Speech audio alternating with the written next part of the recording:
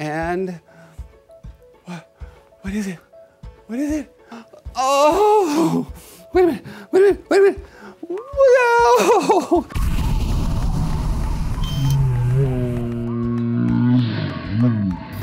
I just wish I could, you know, flip. I just want to jump in the air. I want to soar like a cat. Man, if we could play like cats, like really play like Anyway, what's up, guys? Jackson Galaxy, your cat daddy here today. We're going to talk about what? Playtime. And we're to do it just the way we're supposed to do it. I am confident that I'm to teach you something today that will make your cats tired. Yeah, tired.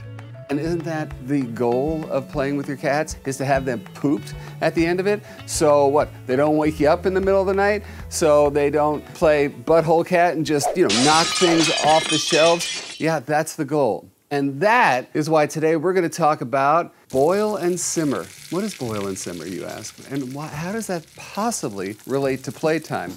Let me tell you.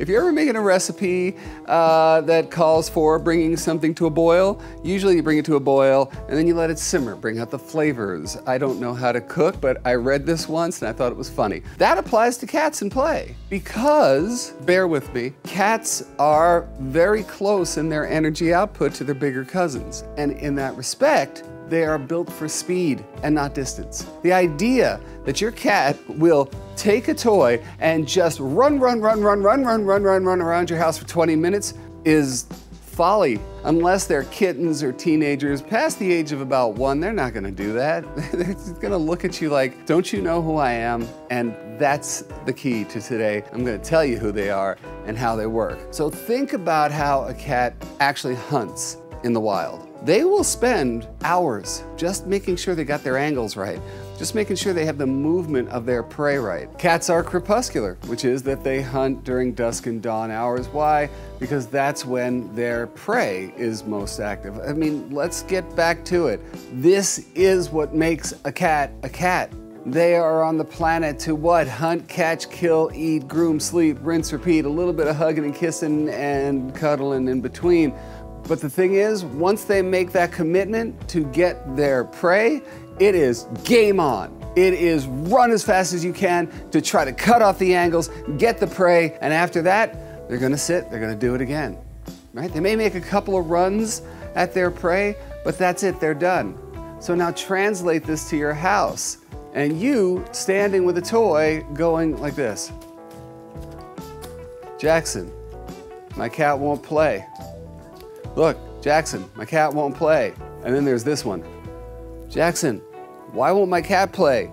As you hang it over their head and bop them on the skull with it. You see what I'm getting at? We are trying to imitate prey to the best of our ability. Part of that is our movement and the general vibe of the game itself. So, really, the gig is to up in the air, up in the air, or around on the floor, around on the floor, not letting them get a hold of it. And finally, when you do, let them hold it for a second and then up again, right? You're imitating the bird, you're imitating the ground prey to whatever degree. And part of that is how fast we're gonna do this, right? Once your cat gets the hunt, catch, and then the kill and eat, which is taking the feather, sometimes walking away with it, and you have to follow along. And then, you know, up again until they're tired, sure. And once they catch it, here's the key. When your cat says they're tired, they're not. That is where boil and simmer comes in. You just brought your cat to a boil, now you're gonna let them simmer. What is simmer? Let's say two or three minutes tops while your cat sort of catches their breath, while they're lying there and you're like, oh, you know, Sparky is done playing. Mm. Now, after two, three minutes, if you break out this toy again, and again start the entire routine over again. Up, up, up, up, up, don't let them get it. Up, up, up, just the head going back and forth, back and forth, back and forth. Down comes the bird. The bird, why? Why, Mr. Bird? Why did you go down to the ground? And then your cat catches it, kills it, and then we go again. Every time you do the boil and then the simmer, and then you start again, you're working on diminishing returns because your cat is actually getting more and more tired. So usually after about two or three boils, your cat is actually done. You know, the last time you do that last play session, maybe you're gonna get a minute out of it, maybe two minutes, tops.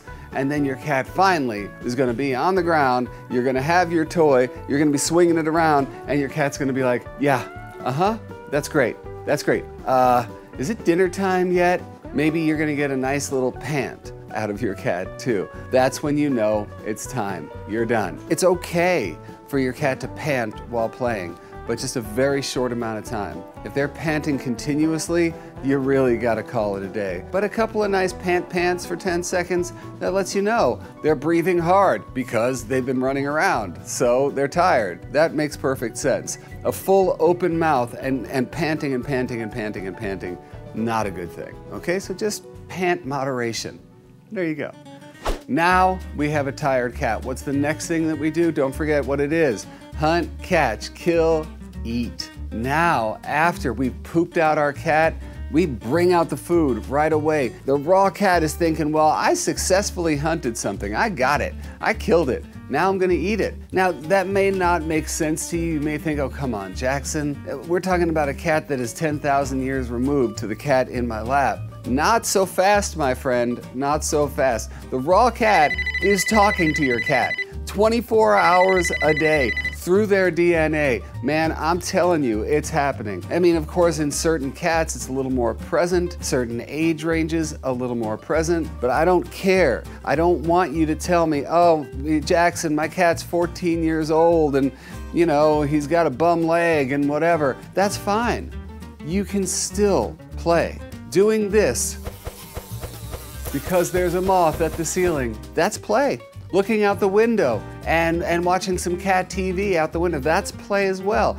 You follow it up with just a little bit. I mean, I don't care if you're 14 years old. If you go like this across the floor and your 14 year old goes like that, maybe takes a step or two, that's it, man. That's play. And that is not just about exercise, that's about mojo release. That's about the cat mojo volcano just just bubbling up and ready to come out. And when it does come out, your 14-year-old cat is like, "Hello.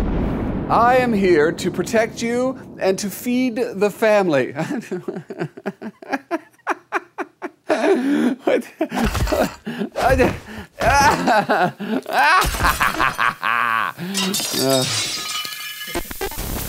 Anyway, where was I? So, you guys, what have we learned today?